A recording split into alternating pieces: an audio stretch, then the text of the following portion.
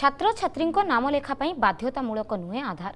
ସ୍କୁଲରେ ନାମ ଲେଖା ପାଇଁ ଆଧାର କାର୍ଡ ଜରୁରୀ ନୁହେଁ। ଏନେଇ ସମସ୍ତ ଜିଲ୍ଲା ଶିକ୍ଷା ଅଧିକାରୀଙ୍କୁ ଚିଠି ଲେଖିଛନ୍ତି ଗଣଶିକ୍ଷା ସଚିବ। ଆଧାର କାର୍ଡ ଥାଉ ବା ନଥାଉ ସ୍କୁଲରେ ନାମ ଲେଖାଇ ପାରିବେ ଛାତ୍ରଛାତ୍ରୀ। ଆଧାର ନଥିବା ଛାତ୍ରଛାତ୍ରୀଙ୍କ କ୍ଷେତ୍ରରେ ଏହା ଅନେକ ସହାୟକ ହେବ। ତେବେ ନାମ ଲେଖା ପରେ ଛାତ୍ରଛାତ୍ରୀ ଆଧାର ପ୍ରସ୍ତୁତ କରି ଜମା କରିପାରିବେ ବୋଲି ମଧ୍ୟ ଚିଠିରେ ଉଲ୍ଲେଖ ରହିଛି। କିଛି ବିଦ୍ୟାଳୟରେ ଆଡମିସନ ସମୟରେ ଛାତ୍ରଛାତ୍ରୀଙ୍କୁ ପ୍ରଧାନ ଶିକ୍ଷକ ଆଧାର ଆଣିବାକୁ ବାଧ୍ୟ କରୁଥିବାର ଖବର ସାମ୍ନାକୁ ଆସିବା ପରେ ଏଭଳି ନିଷ୍ପତ୍ତି ନେଇଛି ଗଣଶିକ୍ଷା ବିଭାଗ। ସବୁ ପ୍ରଧାନ ଶିକ୍ଷକଙ୍କୁ ସୂଚିତ କରାଇଦେବାକୁ ସମସ୍ତ ଜିଲ୍ଲା ଶିକ୍ଷା ଅଧିକାରୀଙ୍କୁ ଗଣଶିକ୍ଷା ସଚିବ ନିର୍ଦ୍ଦେଶ ଦେଇଛନ୍ତି।